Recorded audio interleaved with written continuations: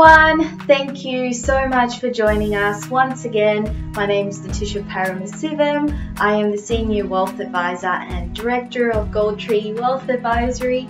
We're a financial planning business based here in Melbourne. Today I want to talk to you about how your personality determines how you should be investing. So, in financial planning jargon, they refer to as um, a risk profile, but when I talk to my clients, I always say it's just a personality test. So when you head off to your first financial planning appointment, you will notice that typically your financial planner would complete a questionnaire with you or a risk profile questionnaire.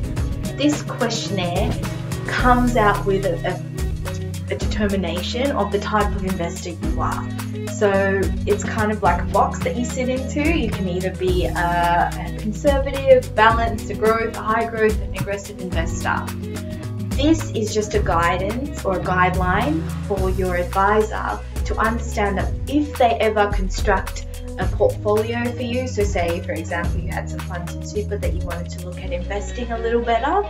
Your advisor understands that because you're sitting in the box of being, being a balanced investor, when they split your funds into different asset classes. Now, I talked about asset classes a few weeks back, so if you're unsure what that means, just head back and watch that video. So, they then determine how much of your funds sits in different asset classes. So, if you're quite an aggressive investor, they might even look at maybe borrowing funds in order for you to invest into shares or property for someone who is a little bit more conservative, then they would probably look at investing your funds into stuff like bonds, cash investments, stuff that are more conservative. So my advice to you when you head off to your first financial planning appointment is to be open with your planner. Now it is their job to make you trust them.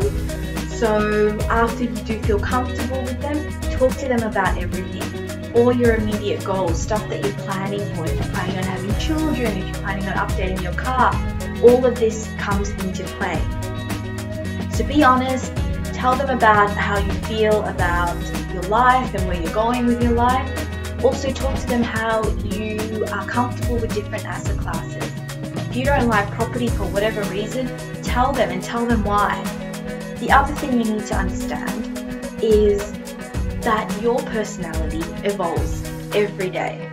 And you need to understand that your tolerance towards different asset classes also evolves every day.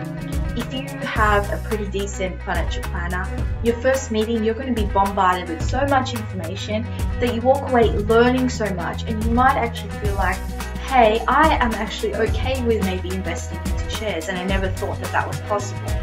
Education and experience changes your perspective on different things. So your advisor over time should be changing, tweaking and evolving your portfolio with the fact that you're evolving. So with all of that in mind, I hope you make the most out of your financial planning experience.